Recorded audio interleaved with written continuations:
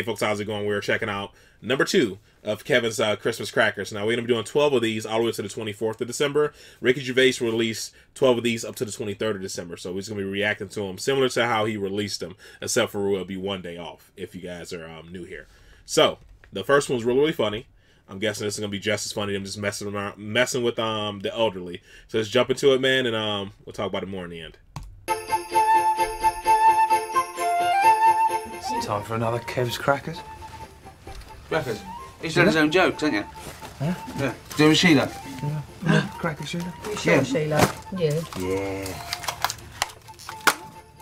Oh, it, See one. it didn't rain. Oh, got a joke in it, Sheila. Joke for Sheila. Why does a dog lick its own balls? Because it can. That's a dad joke. Because it can. Because it can. Oh, Shut up, it's Christmas. Oh, a dirty dad Because it can. but still.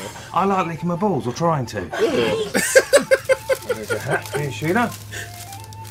There's a hat for Sheila. What's this Oh, one say? Oh, come on. Merry, Yeah. Merry Christmas, Sheila. Merry Christmas. Oh god, that'll never get old, man.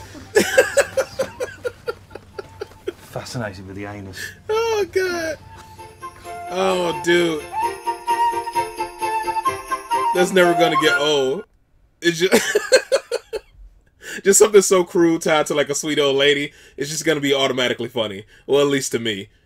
I'm guessing the next one gonna be like just just more stuff. Don't know, butthole, penis licker, like stuff like that. So just something really dirty tied to a sweet old lady. And like they face, oh man, the first old lady was like sweeter because she what she said like Merry Christmas something with a little smile on her face. Like, oh my goodness. This this is good. This is so goofy. I'm gonna enjoy all these. Like if all of them are just him putting uh, dirty hats on sweet old ladies, it's gonna be funny. Um, I got the. I'm glad you guys explained that joke. Like when I was, um, I responded to a couple of your comments. I have to get to the rest of them. Just trying to, you know, make time for stuff.